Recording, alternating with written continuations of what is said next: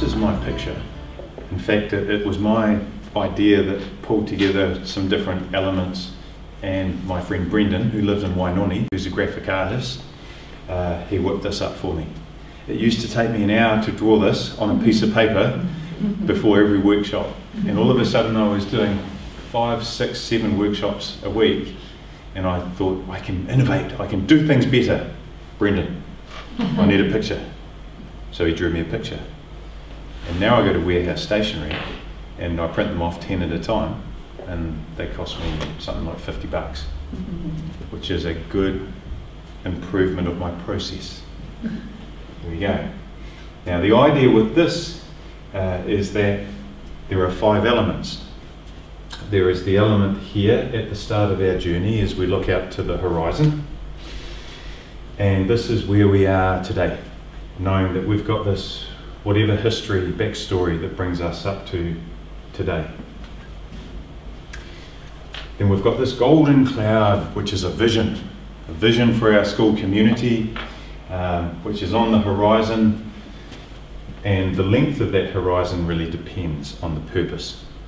So if it was, uh, if we're looking at infrastructure build for Haeata, which was is the new school uh, going into Aranui, a new campus. When we did our initial visioning work, we were looking out three years. So that was a three-year time frame. Um, if it was a tuck shop, what are we going to do with our healthy food? It might be, what can we do in a term? What could we really do in 12 weeks, 10 weeks plus the holidays? So that's element two. Element three is this context on the red hand, uh, on the left hand side, which is red because that's where the barriers, the potential inhibitors and risks involved in the project live.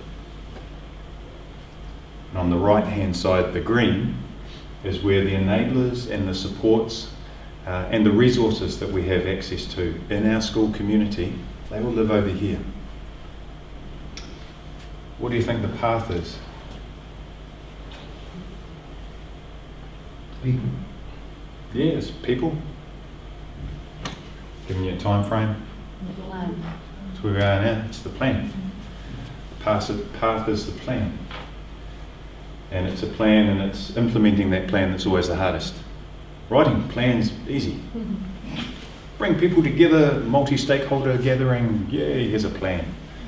Then someone has to make it work. So the path is the plan. Does that make sense? It's kind of just, it's really simplistic. I had an exercise like this with um, the senior management team of SCIRT, which is the big infrastructure alliance that's working primarily in Greater, uh, mostly Christchurch. Um, at the same time that I'm doing it with some year five and six kids, down lying on my tummy with them around in a big circle, and we went through this. Quite a contrast in terms of purpose, but the same process.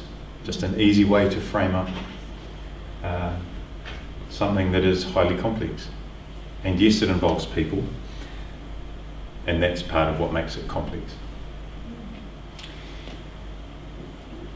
If you consider what I just shared there about these five elements, um, are there any processes that you've used in the past in management and teaching that you kind of relate to these elements?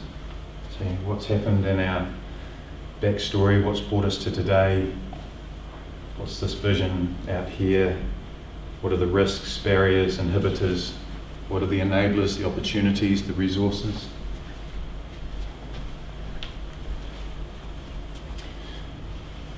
Is there anything in your world that that connects with? Maybe a SWOT analysis. So SWOT analysis are these two sides: strength, weaknesses, opportunities, threats.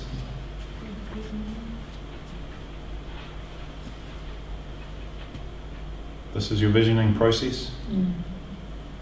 This is your appreciative inquiry. And this is your strategic or operational planning process. The stronger and more people have been involved in the visioning process, the fewer issues there are in the red zone. We won't call it the red zone, shall we? Could we call it something else? Okay. On the risk side. Yeah. On the red side, mm-hmm. yeah.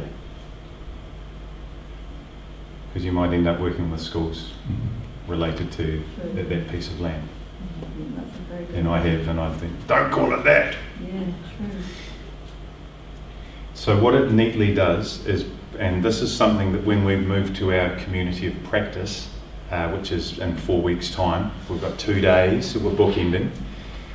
We will, I, I want to step through this process with each of the schools involved in it, the community of practice, along with the next bit, which is the detailed stakeholder mapping um, exercise.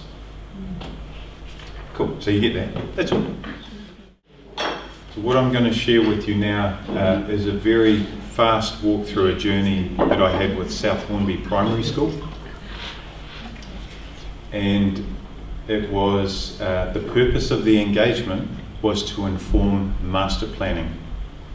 So uh, if you're not a familiar, if you're not aware or familiar with South Hornby's situation, uh, they were proposed to move the school from where it is on Shands Springs Road.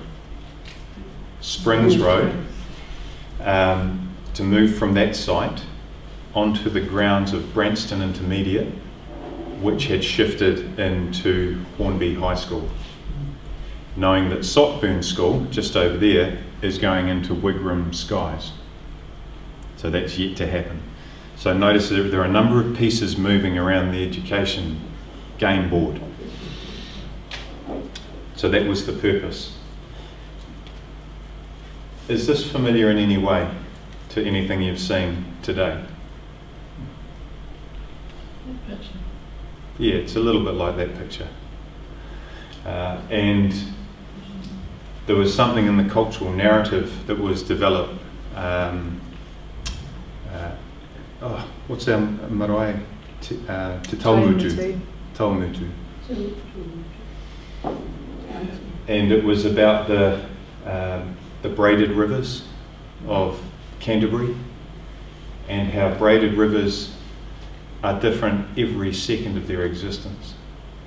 There is always something shifting, there is something moving, it is, it's dynamic and fluid.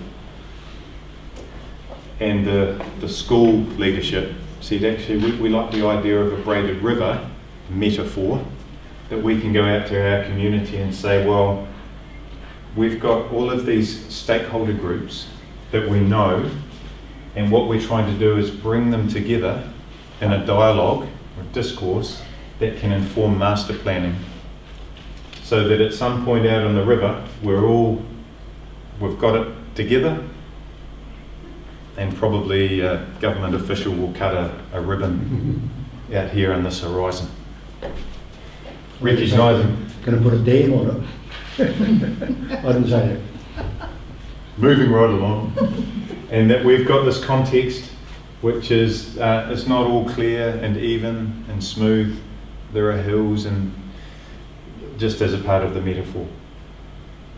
And so, what uh, the school leadership identified was that uh, one of these streams um, was the local iwi and runanga at um, Te Taumutu, who had crafted, co-created a cultural narrative, beautiful document.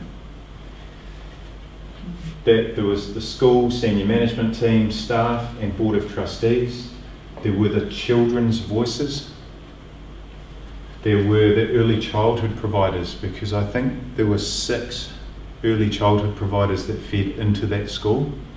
And if you're moving geographically, mm. there are a number of issues there, including the majority of the school walking or scooting to, to school.